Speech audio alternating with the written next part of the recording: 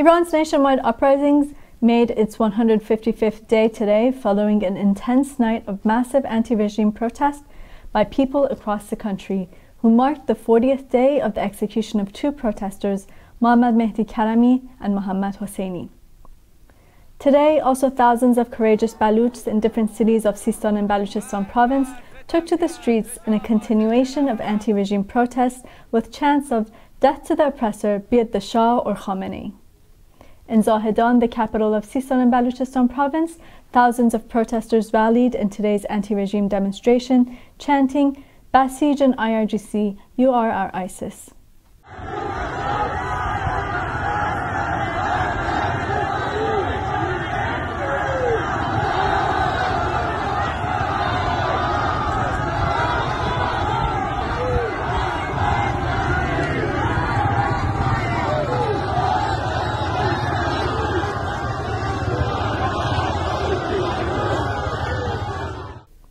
And at the weekly Friday prayer, protesters held signs calling for the release of political prisoners.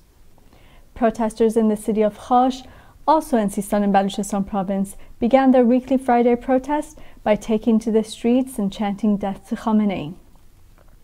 Members of Baluch community in the city of Galikesh in northeast Iran also rallied and demonstrated today and continued to protest the regime's oppression and apprehension of their local religious leaders.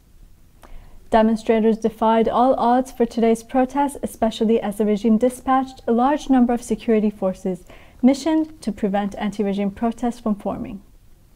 A similar protest was held in Sanandaj, the capital of Kurdistan province in western Iran, on Friday, where demonstrators chanted death to Khamenei on the streets.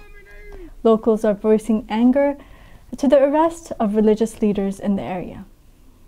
In Shiraz, south central Iran, at 1:45 a.m. local time, intense scenes of anti-regime protests were reported.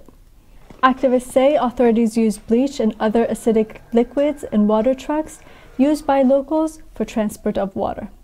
In Bandar Abbas, southern Iran, protesters torched a base of the regime's IRGC paramilitary Basij units.